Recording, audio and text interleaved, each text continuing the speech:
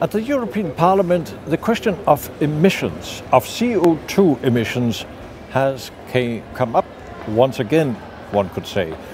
During the year, there has been debate. The Parliament rejected the first proposal of the Commission, but now everything seems to be in order, or does it? I'm not sure. Uh, we are debating today about the backloading, so-called backloading. Backloading means that we change the timetable for the auctioning of uh, certificates of allowances for the emission trading system. And that's very understandable. It's really very understandable. People. The emission trading system is our really core instrument uh, in the fight against climate climate change in the European Union.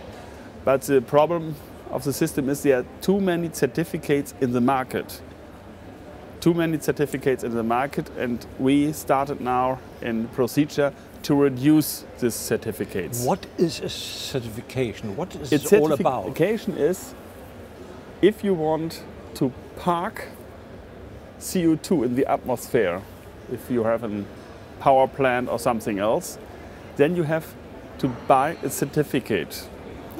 And then you are allowed to park, to emit one ton of CO2 into the atmosphere.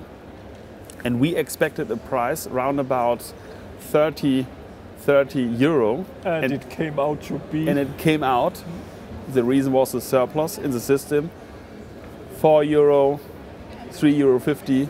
A cup of coffee at the airport or at the train station is at the same level. But the basic idea of having those amounts was to um, improve innovation in yes. green um, green, new technology, innovation. renewable energies, exactly. uh, to, to uh, maintain production lines uh, and, and to invest in green technologies. And, uh, and, it was not so effective because in 2008, here the parliament uh, made a mistake because the parliament was afraid, oh, the industry, uh, is it enough? Are there enough certificates?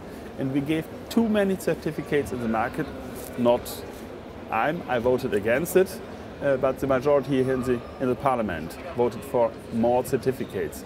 And now we have the problem with the system that the price is down and we have to think about how we can increase the price.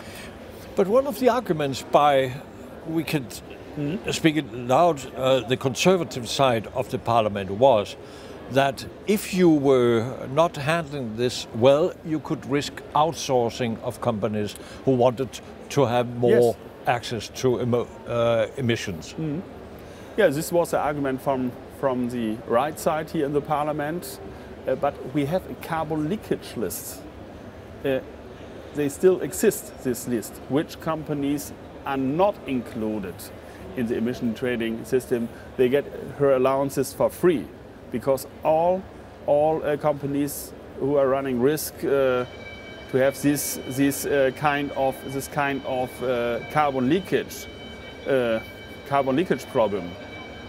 The, these problems are solved, and Jos Delbeke, the general director of DG General Direction of uh, Climate, the European Commission announced yesterday that there's no carbon leakage problem in the European Union.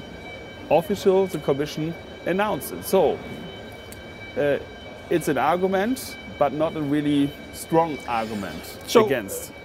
Being the rapporteur, being the chairman of the uh, Committee for Environmental Issues, what is your reaction to what happened yesterday? Of course, you must in a way be satisfied. You got what you what you could get, mm. one could say. But what is your real reaction to this? Are you satisfied? I'm a little bit sad, I must say, because it took too long, one year too long, I must say. And uh, sometimes the European climate policy is like a snake, really. We have to accelerate our, our, uh, uh, our process in the next period. We, our task is to maintain the emission trading system. We need new goals for 2030. Uh, the Council will will decide in the in the spring about these new new uh, figures, and we will decide in the committee. We have a joint committee meeting, industry committee and the environment committee, it, it uh, will take place at the 9th of January. We have the decision in the committee and then in the plenary, I guess we have it in March. So, But on one hand, the industry wants to be sure that they can maintain their ways of industry. Um, on the other hand, the green industry, so called, can't probably, but it's a question to you, um, give the same kind of, the same amount of jobs that the other side um, risks to lose. Isn't that correct? Is there a problem there? we we are sometimes dividing the industry in the good green industry and the brown industry. I think it's not necessary. We have one industry, and the whole industry uh, has to transfer to an energy efficient industry and a low carbon industry. Uh, for every windmill, if you want to install a windmill, you need a steel tower or a beton uh, tower.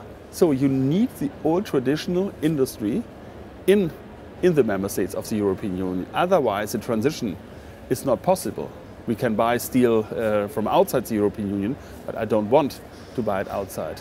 If we really want the German Energiewende, it's called in Germany Energiewende, if we want really a transition to a low carbon society, we need also the traditional industry, and they can do it. They can offer uh, uh, the part. Uh, Final question must be what's the next step? Next step 2030 goals three CO2, renewables, and uh, energy efficiency. And then the next step for the emission trading system is maintaining, uh, to maintain the emission trading system. Uh, I prefer personally, it's my personal opinion, I prefer a system which is more dynamic, not in such a static, static way, because the existing emission trading system is built on a 2% growth target. So, and if we are below or above, then we have a problem. So we need a corridor or something else. I like really uh, the, the UK approach, I must say, within bottom with a bottom price of 18, 20 euros, and also a security value uh, at the top, and also to, to take the industry uh, on our side, that we have a corridor where the CO2 price is in.